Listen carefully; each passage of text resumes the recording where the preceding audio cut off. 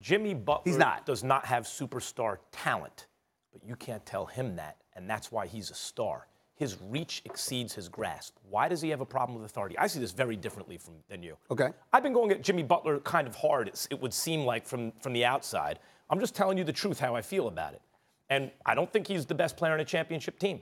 And I would be hesitant to give him a, a supermax contract. That's the fact of the matter. I hope, Jimmy, I hope you get your money. He'll get his But money. Let's just gonna get about- the but let's talk about Jimmy Butler and authority. He doesn't like authority. Let's think about what that means. What has authority told Jimmy Butler from an early age, since his mom kicked him out of the house, right? When he, when he was basically homeless at 13.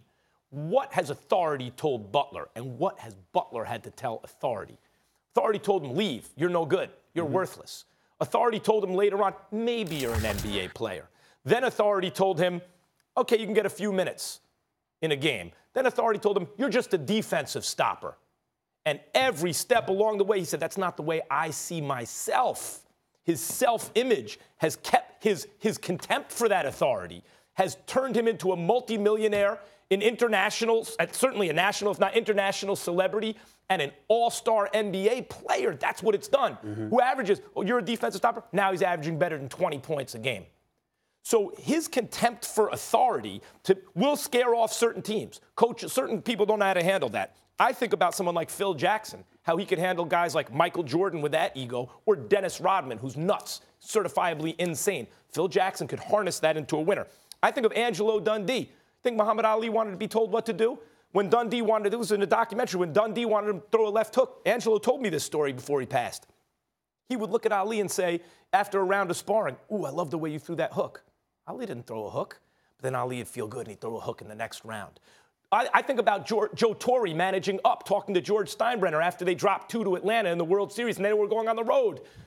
He said, after they dropped the first one, Torre said, now we'll probably lose tonight too, but then we're going to sweep them after that. You have to know how to handle the job of a coach, of a head coach, is to know how to handle big egos, how to harness what they got in the direction of a winner. A good head coach will harness that attitude in Jimmy Butler, a bad one won't, period. That's not the point. Well, go ahead, Molly. I'm gonna get of. I- I'm, gonna- I'm Hugh. I was just going to get to actually some more quotes he had on Blake Griffin, but if you want to respond, I want to respond to that. Max, that's not the point. The problem here is not how he feels.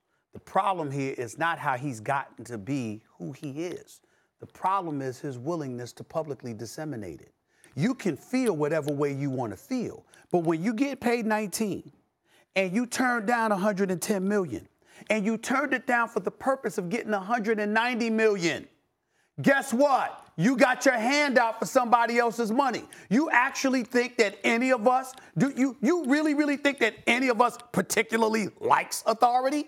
Who wouldn't want to be able to do what they want to do, when they want to do it, how they want to do it, whenever they choose, with, and, and be able to operate with impunity? All of us would love that, but guess what? We know better. And so, because of that, you have to dance the dance from the perspective of recognizing the fact that you don't get to just disseminate. I understand exactly where he's coming from. Being a young black man, growing up in the United States of America, the challenges that he has had, I know exactly where he's coming from. But the point is, you don't get to that place of elevation to the degree that he's aspiring for by looking in the face of people you got your hand out for and going like this bump y'all i do what i want to do you don't publicize Stephen A, something like Stephen that A, it compromises your ultimate that goal a young black man in America. You've spoken very movingly about the things that your mother had done for you at an early age. Yeah. She's an amazing one of the, your mother's one of the most amazing people I've ever heard of. Thank you. And the kind of ego that gives you to go out and succeed, the way she was working th- two and three jobs and still had time to teach you to read and things like that.